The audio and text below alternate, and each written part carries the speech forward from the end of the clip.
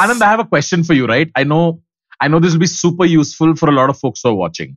It depends on how well I answer, Yatan. Seriously, the question no, will no, be it, useful, it will sure. be, it will be, it will be, because I'm asking you something that you've previously done before, right?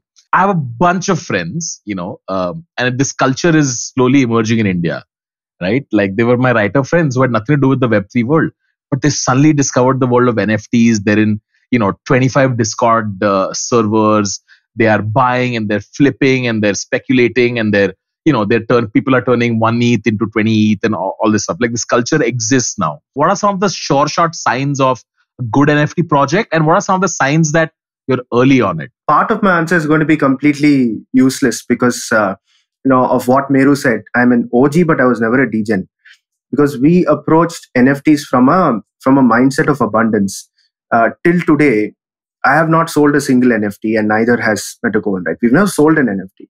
So the idea of being able to look at an NFT without the cloud of you know, can I flip this? How much is it going to cost? Ironically enough, that's what gets you to the really, uh, you know, the diamonds in the rough, things that are not recognized yet. Uh, those kinds of ideas. Uh, there are basically only two kinds of uh, ways, yeah, in which you sort of identify NFTs. Easiest is to stick with the context that you're familiar with, even in Web two.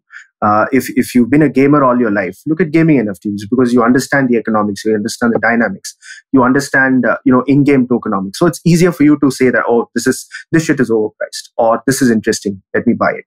Same with uh, sport, same with art. That's why a lot of people get into NBA top shots because they understand basketball, or Sorare because they understand football.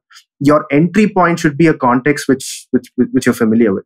But the other degen part is uh, anybody's guess, right? It's easy to see what the uh, current trend is. I mean, if it's PFPs, go for PFPs uh, for a little bit.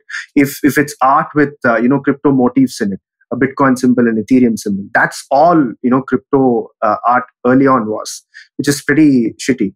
But then I I was able to hook into artists who completely defied that trend and you know uh, uh, a professor from the university of chicago once told me so this guy's an art professor and we were on a panel and all that. He said the only art that is going to end up in museums is art that does not look like art.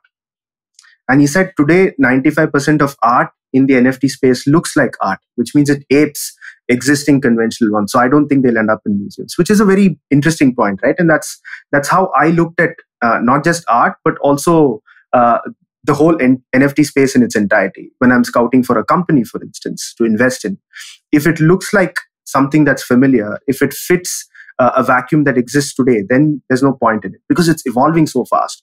It's going to uh, go obsolete in six months. If there is a sufficient 35 40% ambiguity in how it's going to turn out, that makes it interesting. Also, it's, it's uh, va- variable rewards means higher dopamine also. It's more fun. Yeah, it's more true. fun when things are a little ambiguous. Ki pata nahi. Love That's it. true.